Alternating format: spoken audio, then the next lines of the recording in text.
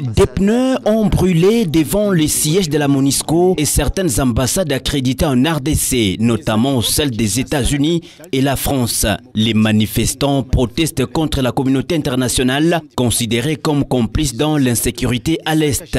Une implication qui s'est prouvée dans le temps.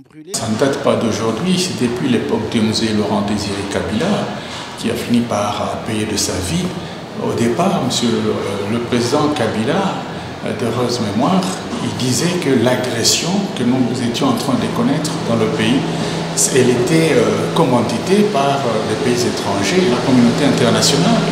Donc, on parle de la communauté internationale, on voit les grandes puissances telles que la France, la Grande-Bretagne, les États-Unis, etc., qui étaient derrière euh, le Rwanda. Pour Gustave Moulongoy, les manifestations ne sont pas suffisantes. Il faut cette fois-ci toucher aux intérêts des multinationales. Ce n'est pas pour bientôt que cette guerre-là puisse euh, se terminer si on ne touche pas aux intérêts vitaux de ces multinationales, de ces pays-là. Donc, les manifestations à l'Est, c'est une bonne chose. La population fait euh, sa partition, les étudiants peuvent marcher. À Kinshasa, on peut brûler euh, les pneus, c'est une bonne chose. La population fait sa, sa partition. Et du côté gouvernement, je crois que là aussi, on doit accentuer la pression. Euh, et de quelle manière peut-on le faire?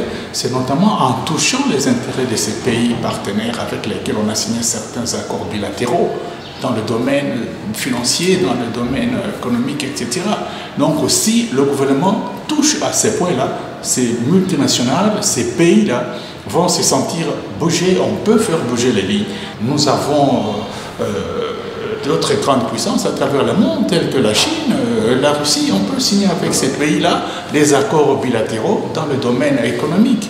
Signalons que plusieurs centaines de femmes congolaises ont manifesté mercredi à Kinshasa pour dire stop à la guerre dans l'est de la RDC, où les combats se sont intensifiés ces derniers jours entre les forces gouvernementales et la rébellion du M23.